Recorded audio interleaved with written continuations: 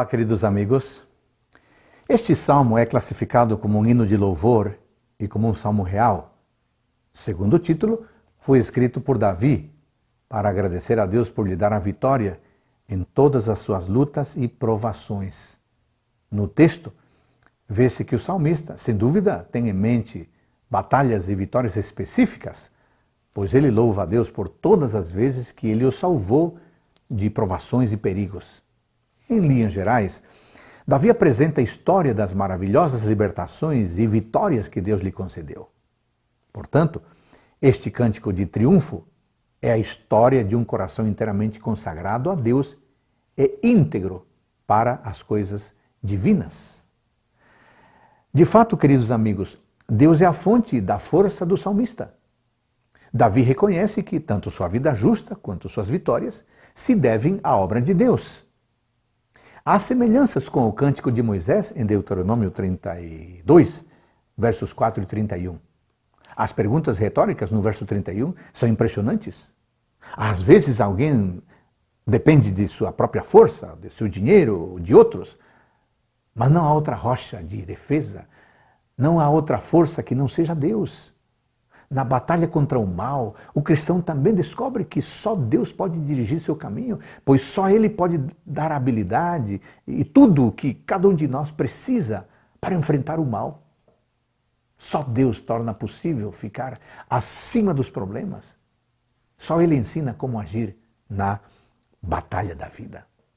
O Salmo 18 é um cântico de gratidão pela vitória concedida quando Davi eh, se volta para Deus depois de ter sido maravilhosamente liberto das mãos de todos os seus inimigos, mas especialmente das mãos do louco rei Saul.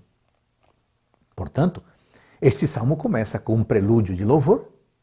Davi considera a Deus como sua fortaleza, seu castelo forte, seu refúgio, sua rocha, sua salvação, seu libertador, e por isso canta em agradecimento a esse Deus pelas virtudes e qualidades que reconhece nele do verso 4 em diante, o, o rei Davi descreve a libertação de inimigos mortais, e a partir do verso 8, ele começa a descrever a glória e a santidade do nosso Deus.